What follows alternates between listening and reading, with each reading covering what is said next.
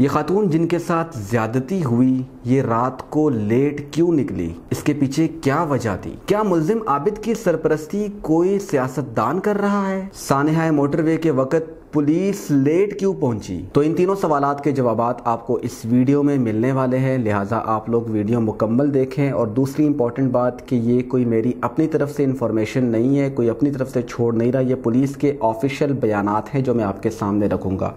पहला सवाल ये डिस्कस हो रहा था कि ये औरत जनाब लेट क्यों निकली, अकेले क्यों निकली, इसकी ऐसी क्या ख़ास वजह हो सकती है? तो सीसीपीओ की तरफ़ से बयान आया है इस सवाल के हवाले से कि इनके शोहर का इनके ऊपर प्रेशर था, दबाव था, जिसकी वजह से ख़ातून घबरा गई और मैके से वापस अपने घर जा रही थी। मतलब कि लेट हो गई थी या दो तीन दिन ऊपर नीचे हो गए होंगे, इस तरह मामला होते हैं। तो शोहर ने गुस्सा किया होगा, बेचारी और डर गई है और वो रात को ही निकल पड़ी, उसने इवन कि अपना पेट्रोल तक चेक नहीं किया।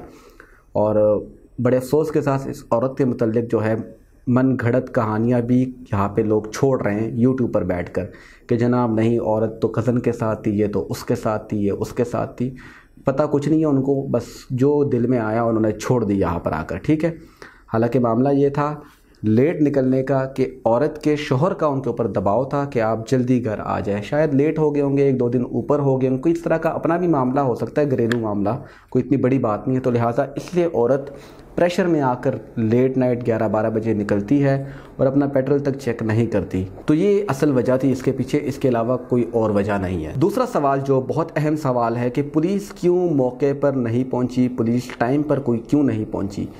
इसका जवाब ये आया है कि जनाब, औरत की तरफ़ से पहली जो कॉल है वो मोटरवे पुलिस को की गई और मोटरवे पुलिस ने ये इंस्ट्रक्शंस दी कि ये जो इलाका है वो हमारे हदूद में नहीं आता। अगर ये औरत उस वक़्त होश में होती, हालाँकि उस सिचुएशन में हम मर्द भी, कोई भी बहादुर बंदा भी, वो फंस जाता है। उस सिचुएशन में अगर वो वन फाइव से मदद लेती तो उम्मीद था कि ऐसी कोई प्रॉब्लम ना होती। दूसरा पुलिस वहाँ पर कैसे पहुँची? अब ये भी कुछ लोग पूछ रहे हैं कि वो ऐसा हुआ कि जब इस औरत को उन डाकुओं ने वहाँ गाड़ी से उतारा, शीशा तोड़कर तो उस वक़्त कोई बंदा राहगीर वहाँ से गुज़र रहा था। उसने वन फाइव पर इतला दी, जिसके बाद पुलिस पहुँची है। लेट या जल्दी तो पुलिस पहुँची ज़रूर थी वहाँ पर, लेकिन अगर ख़ातून पहली कॉल पुलिस को करती तो शायद ये जो वाक़ जो सानहा है पाकिस्तान की तारीख का बदतरीन सानहा, ये पेश ना आता। तीसरा एक अहम सवाल डिस्कस हो रहा है सोशल मीडिया पर कि क्या आबिद को किसी सियासतदान की पुश्त पनाही सपोर्ट हासिल है या नहीं? इस हवाले से भी सी सी पी ओ साहब ने क्लैरिफिकेशन कर दी है कि नहीं, आबिद को किसी की सियासी पुश्त पनाही, कोई गैंग इसके पीछे नहीं है।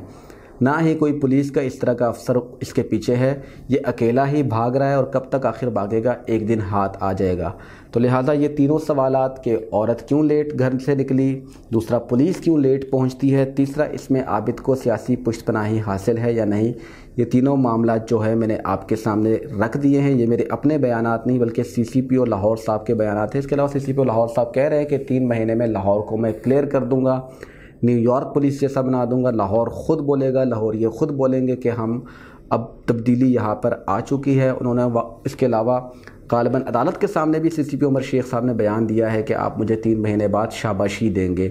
लेकिन मुलिम आबिद अली या आबिद मली ये अभी तक गिरफ़्तार नहीं हो सका। इसके पीछे 25 टीमें पुलिस की लगाई गई हैं। वो हर एंगल से इस केस को देख रहे हैं, लेकिन आबिद अकेला है। और वो गिरफ़्तार नहीं हो पा रहा। वो पहले साली के पास जाता है, फिर सास के पास, फिर दोस्त के पास, फिर कज़न के पास। जिधर भी जाता है, वहाँ पर पुलिस पहुँचती है। तो पुलिस के पहुँचने से पहले पहले ही आबिद साहब वहाँ से रफू चक्कर हो जाते हैं और गायब हो जाते हैं। और अभी तक आबिद के हवाले से कोई ऐसी अपडेट नहीं आई। दूसरा मुलम शफकत पुलिस की हरासत में है।